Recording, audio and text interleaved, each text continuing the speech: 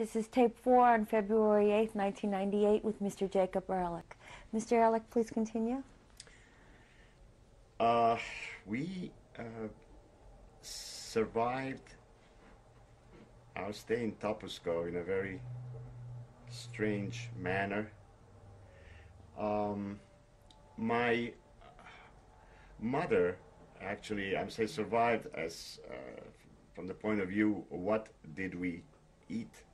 Remember that this was um, an area that was uh, surrounded by the Germans, and whatever food there was, we were totally at the mercy of uh, the villagers uh, around us and whatever they would want to give us. Um, uh, we didn't have much to trade, didn't have any belongings, but um, uh, one of the ways uh, we did survive was that my mother, who has learned this um, fortune telling um, from, uh, I'm sure it goes, it, it, it, dates back from for, for a long, long time because uh, a Turkish woman who used to tell her, uh, I guess, my mom when she was young, uh, maybe as we are interested in knowing what the future will bring. Maybe she had her fortune told by that uh, old woman, and she kind of uh, learned. She asked her, she, she, she's, my mother told me later, I said, Mom, how did you learn this? Uh, it was uh, uh, done with, uh, unlike some fortune tellers can see your fortune in the cards or see it in coffee, you know, or palm of your hand.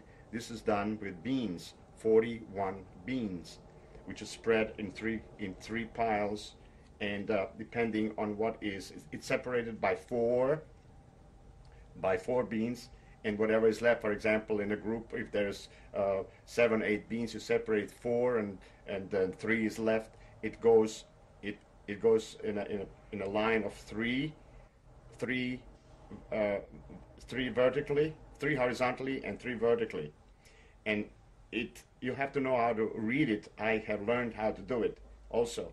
Um, amazing, amazing things. I mean, uh, I'm not uh,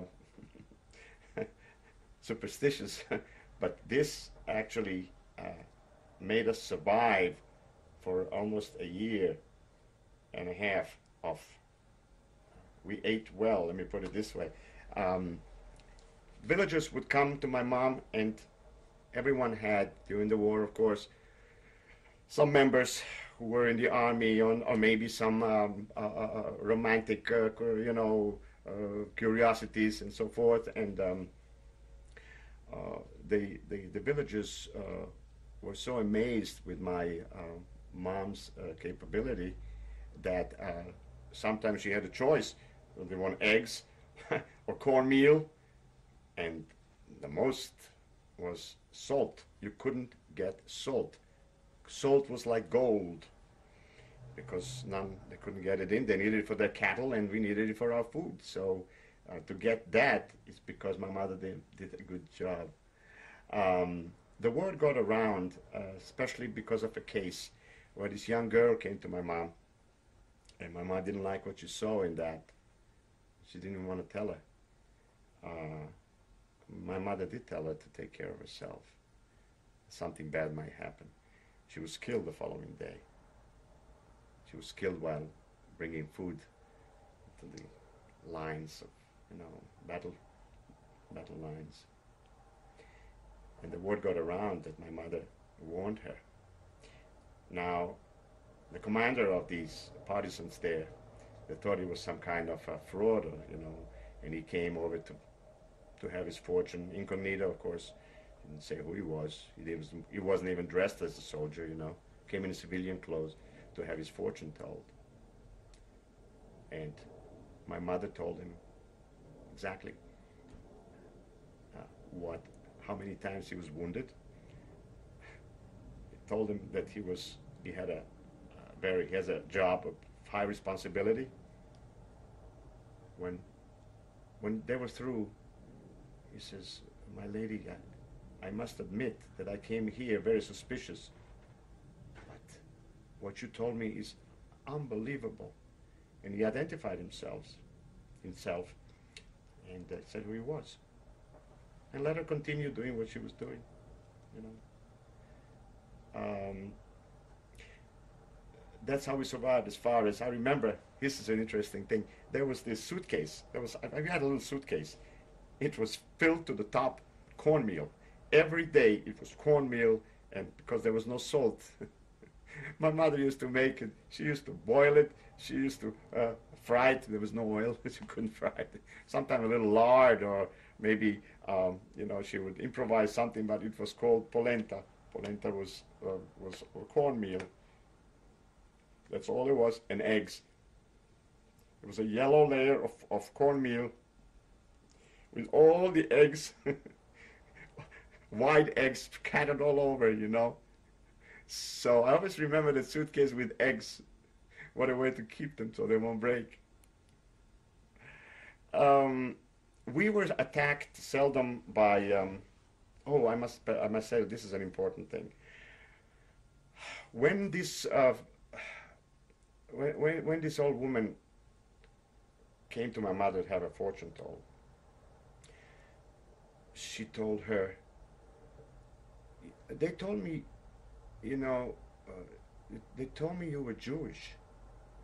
My mom said, yes, we're Jews. And she keeps looking at her and she says, but you know, you're beautiful. What do you mean? My mom says, no, because they told us that the Jews were ugly people. Maybe in a sense, you know, of, of describing like like uh, you know ugly, ugly maybe maybe with a long nose. You know, a lot of caricatures uh, which they portray us as. They told us that, that, the Jews were ugly people. Can you imagine? At that time, we're talking here the year uh, 1940, and these villagers still thought the Jews. Uh, look at the power that, that God knows where, whether it's um, fallacy or whoever told her, you know, that was that was already anti-Semitism and so forth. And um, she lived very happily that she has met a, a good-looking Jew. We stayed at this little house um, that uh, our friend, uh, the shoemaker, provided us with. And I remember once a sign which was usually um, to to to uh, to uh, uh, warn people that an aircraft was approaching. Uh, was a one rifle shot, and everybody knew that the aircraft was approaching.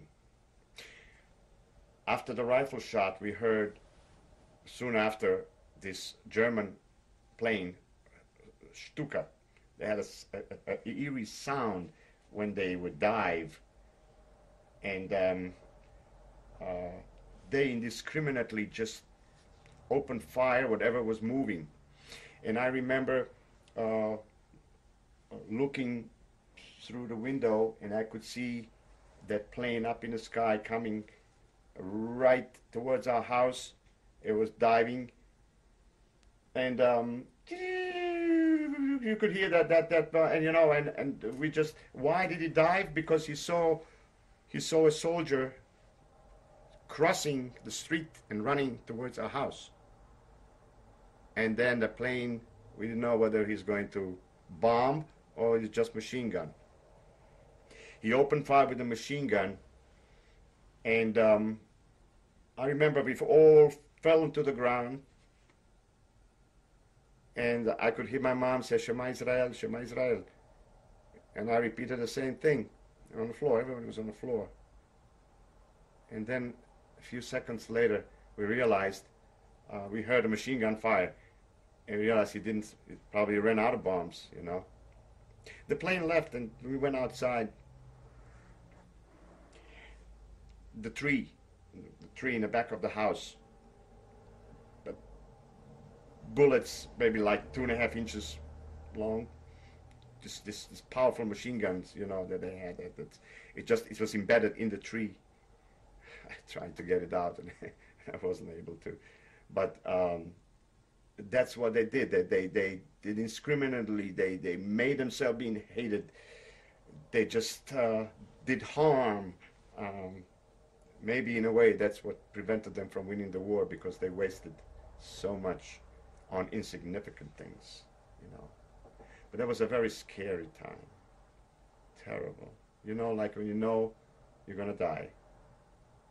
If there was a small house, if this had been a bomb, nobody would have survived. You know. That's one of the things. And each time you would go out in the street, you hear the a rifle shot. Oh, once I heard it, I was. Uh, I didn't know where to run. And I saw the planes coming.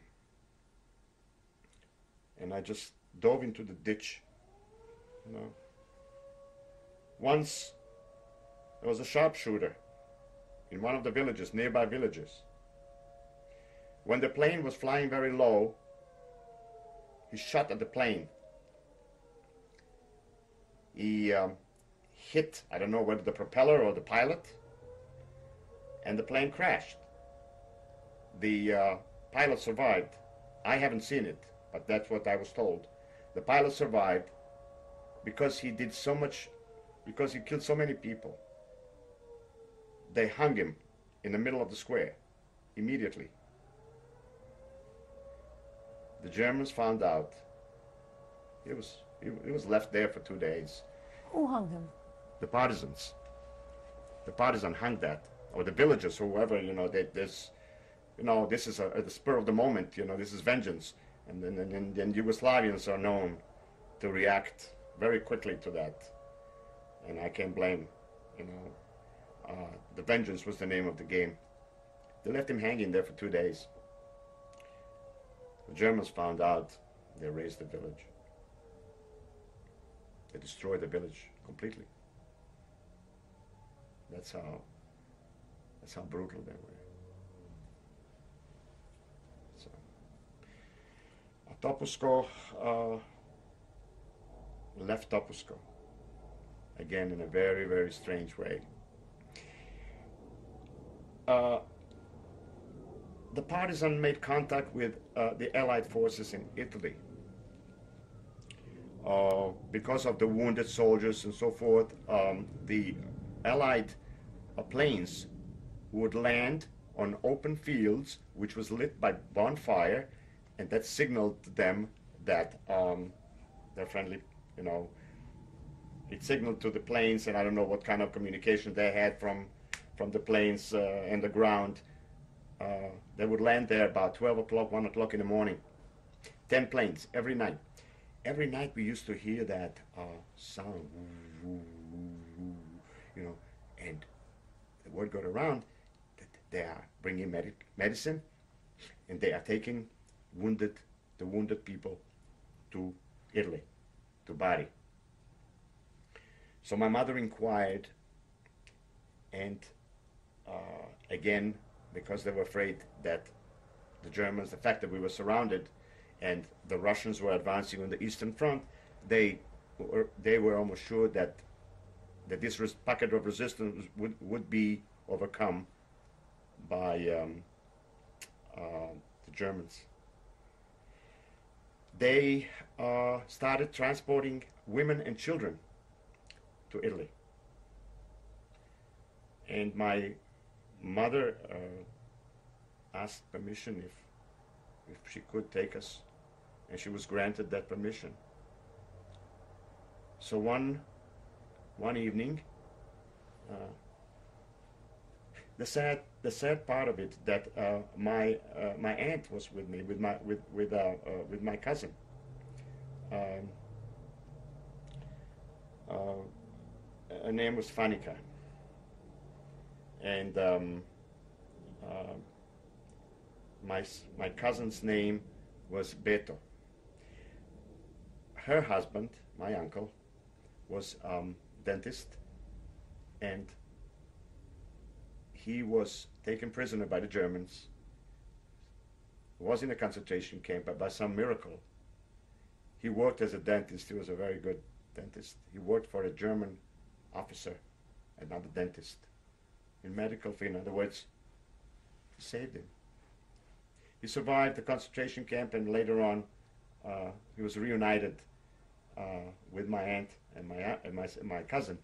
She did not leave. Uh, uh, my my aunt lived with us in that little house. I forgot to mention that.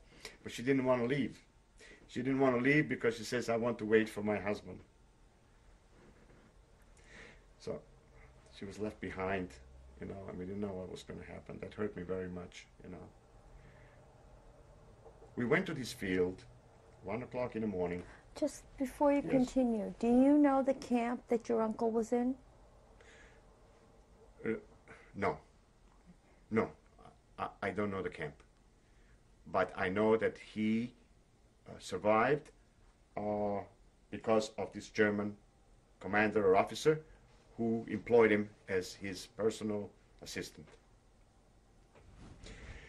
Uh, Did your aunt survive waiting for her? yes, yes. It was a very happy news. And they, then they immigrated to Israel.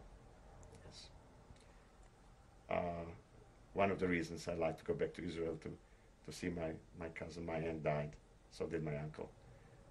But my cousin, and I got along very nicely, I'm very embarrassed to say that I should have done it much, much before. Um, we were in um, um, um, I'm, just, I'm trying to think. Um, yes, we approached the plane. We could see the plane circling. We could hear the plane circling. Finally, this beautiful metal bird. That's when my my my admiration for, for for aviation started. I said, "This is this is the bird that's going to take us to, to for the first time." You know, I must tell you something. That each each day that we would go to sleep, each night when we go to sleep, uh, the question in my mind was always, "Are we are we going to survive this? Will I ever see freedom?" Will I ever be able to wake up one morning and say, I'm not afraid that somebody's going to kill us or pers- persecute us? You know? And when I saw that plane, I said, how marvelous it must be to be taken away somewhere where you wake up in the morning and you know that nothing is going to happen to you, that you're going to live, that you are going to live. Because to, to me, it was like a, uh, I was like saying, you know, everything, all the plans that were made for the future was if we survive. If you survive. Many nights we would go to sleep with all dressed up with shoes and everything. We wouldn't take it because you don't know. It happened during the night we had to run, that we had to leave. Get up and, and go into the woods. Because you didn't know. So um, when they started taking the wounded on the plane, it was a twin engine plane. Uh, there was there was an uh, English plane, English plane. I saw uh, these uh, pilots, you know, everybody's trying running. and It was done very very fast. It was done quickly, and the children stacked in. These were planes where you had military planes, of course. The seats were always on the side, the benches underneath. You know, you could put your belongings underneath the benches. I'm stating that because it played an important role in my father being saved. This place under the bench was when my father approached the plane to kiss my mother goodbye and us. It was so dark. There was only one step to the plane. So my mother tell, told me that. She says, I told dad, why don't you come in? Why don't you step out? And my father looked around and, without much thought, jumped in. They were looking, where's he going to sit? He crawled under the bench. And my mother took a few children that were there, myself and my, uh, my, my sister, and put us over this bench, sitting like covering and plane. Then came the they, then then came someone to count how many people were on the plane with a flashlight. It just take chances in life, and you will survive. Remember what I told you? Passa um ponto e virás o mundo. go over a little problem and you'll live forever? Well, that's what it was calculated risk. She did go over it. They never saw him. The plane took over. The, the plane took off. I was sitting. I was sitting near the door. The door was open. The door was open. I was trapped. And I remember looking down and see little lights disappear. And so did all the problems of being captive and, and fear and everything else. We arrived, it was still dark. Two hours in Bari. The plane landed. We got out. And then they brought us something that I thought was that yellow polenta bread or whatever. I said, why did I wrap it in paper? It was white bread. we haven't seen it for two and a half years, three years, God knows when. White white bread, we never we never saw. And uh, that was our trip to uh, to safety. We came um, and found out there were many other Jews from all over Yugoslavia that were there, 1500s of them, in a camp near Bari. And What was the name of the camp? the camp was called uh, um, um, Palese. Palese. It was near Bari. Before we continue with this camp, I'd like to just go back one moment. Um, you said that you sometimes had to go to sleep with your clothes Yes. and shoes on. Yes. Yes. Could you just Slept on the floor. There were no beds. No beds. We slept on the floor. You just had to be dressed to, to, to run away. could you describe an, an occasion where you had to run out? Yes. Uh, they would uh, they would uh, they would signal to you when you had to run and run fast. Either they'll bang at your door, or you could you know uh, it was a small town, and uh, the the fear was that we would be uh, swept by by by motorized forces. We were right near the road, and you just had to be very very fast. Since we didn't have any belongings with us, it was very very easy to move. I, I remember going and sleeping. One night we slept in the woods. Um, and we heard a we, we, we heard uh, it was mortar mortar fire. It was flying all over us. Oh, it was just a tremendous. Uh, you know, must have been a big fight. We could we could hear the whistling of the of the uh, of the grenades and the, and, and, and the mortar fire all over from from one side to another. Very very. Uh, we just didn't know where to go, what to do.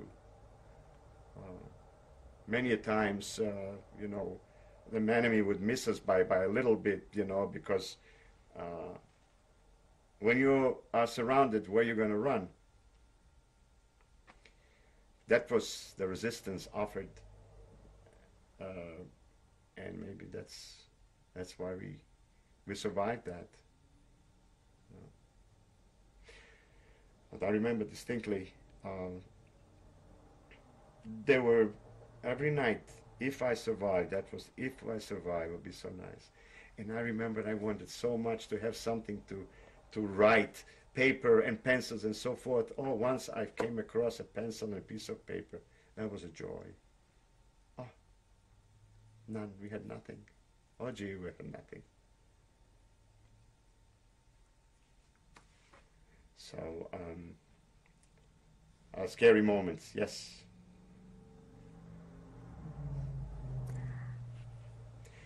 Uh, that was part of our odyssey as far as escaping from uh, the enemy, uh, coming to Italy and not knowing what to do, where to go. Uh, they, they sent us this time uh, from that camp, we went to uh, southern part of Italy, which was uh, Lecce. Uh, Lecce was the main town, but we were further down, which was called um, Santa Croce. Santa Croce was um, the the refugees were placed in homes of uh, that was confiscated from the fascists, Italian fascists. Some of them were like palaces, some of them were family homes, uh, but all beautiful homes. No furniture, had nothing in it. Some of them did. We were placed. Each family would get a room. We were placed in there awaiting immigration, whether it's to Israel or the States or, or going back to Yugoslavia. We, we were staying in one room, which was a beautiful, beautiful, my beautiful. It was like a very, very beautiful palace with orchards. Uh, I mean, can you imagine what it did to me uh, and and and, the, and our family uh, living in a place like this? No luxury there. I mean, we had a bed, yes.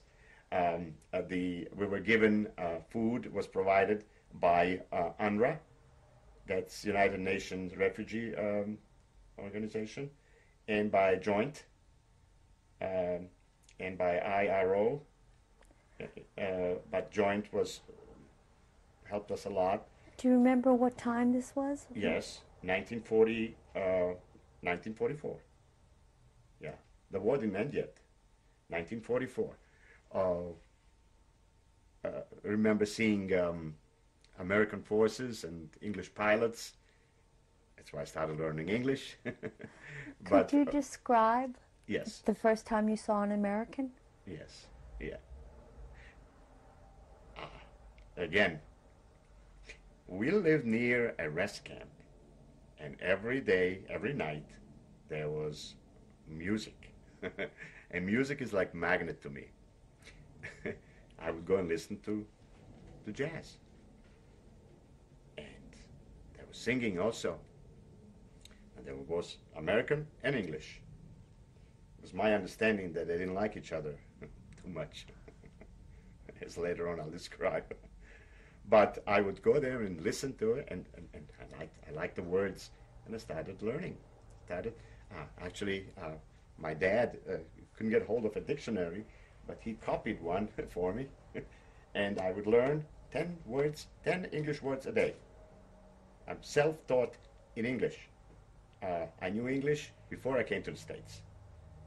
Uh, just loved it. Loved the music, liked everything about it. Remember the first time I saw the ad for Coca-Cola? But this must be a delicious drink, I tell to myself. What does it taste like? it was in all those magazines that I used to see a Coca-Cola, you know, I saw the bottle. It's so much later on did I try it. Yeah, it was good, and it's still one of my favorites. I'm not discriminating against Pepsi. the thing is, it brings memory of Coke. Maybe that's why I like Coke the best, because it brings me memory. I'm associating it when I first saw it. It's very interesting how certain things, you say Coke, what does it, what does it say? Um, in, uh, in this particular place, um, uh, the, the, the, description of this is uh, Santa Croce was surrounded by vineyards. There was a kind of rocky beach. Again, love the water. Summers were beautiful. Um, the garden was all fruits, so good to help yourself. it was so. This probably one of the. It's probably like a reward for all the sufferings that we went through, you know. So here we were getting uh, free clothing, we were getting uh, free food, but again, my father wanted to do something, and uh, what he did, in order to have a few dollars, if to have some money for expenses, uh, he would go to town and he would buy some fruits and some Italian bread and mortadella, salami, and so forth, made sandwiches, and put a few tables outside, and um, he used to sell them. We're going to have to change tapes again.